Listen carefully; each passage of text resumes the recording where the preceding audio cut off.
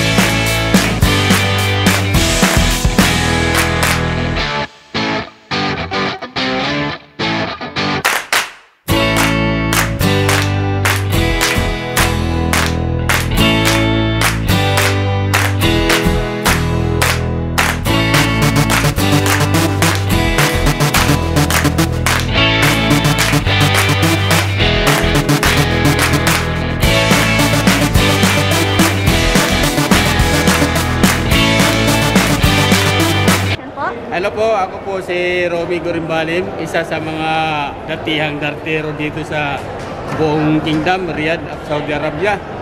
Eh, ako'y nagpapasalamat at ako'y nahingian nyo ng mm, katanungan about sa aming samahan dito na maganda. Ah, ito yung nagsimula since 1989.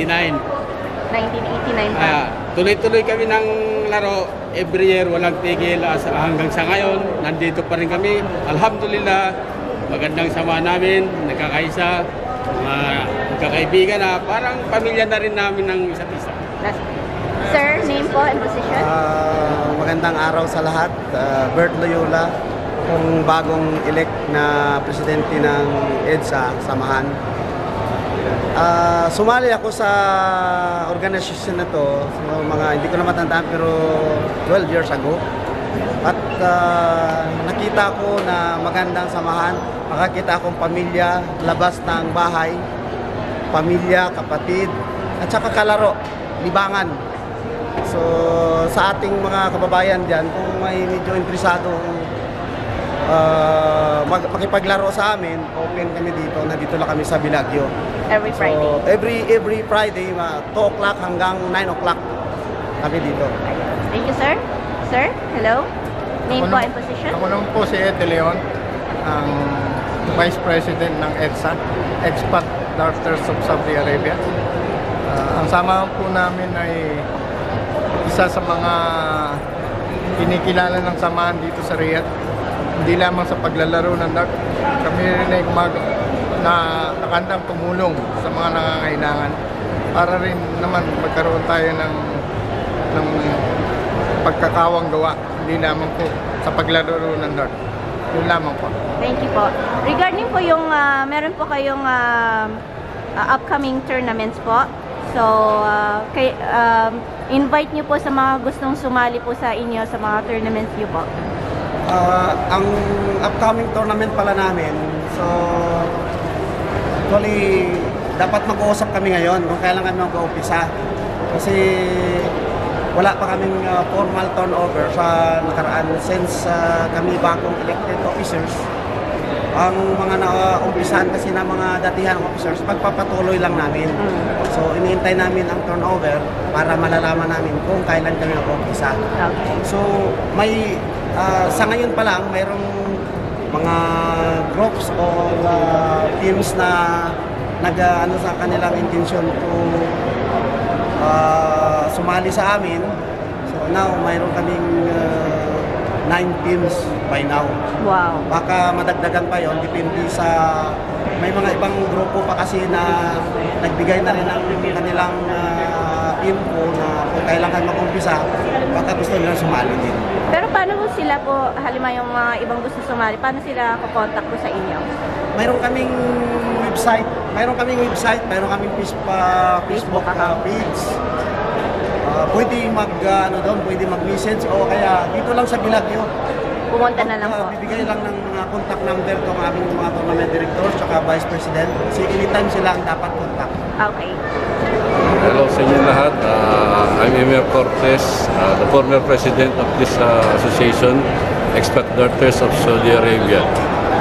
Uh, sa nakaraang posisyon na panunungkulan, okay naman ang naging uh, kaganapan dito sa aming palaro.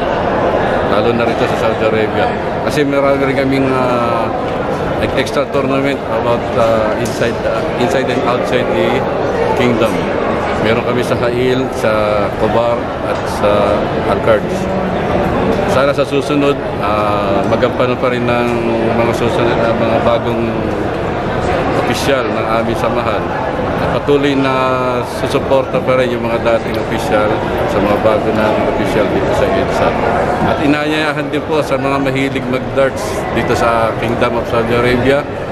Open po kayong lahat. Kayo lahat ay inanyayahan namin para makiisa sa ah, paglilibang.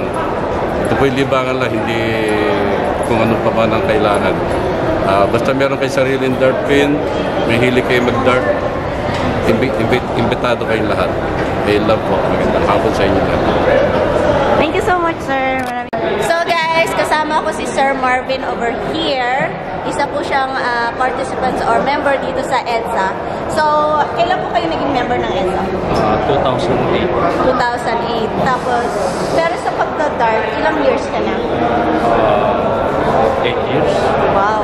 So, 2008. So, before ka sumali sa EDSA, darter ka na.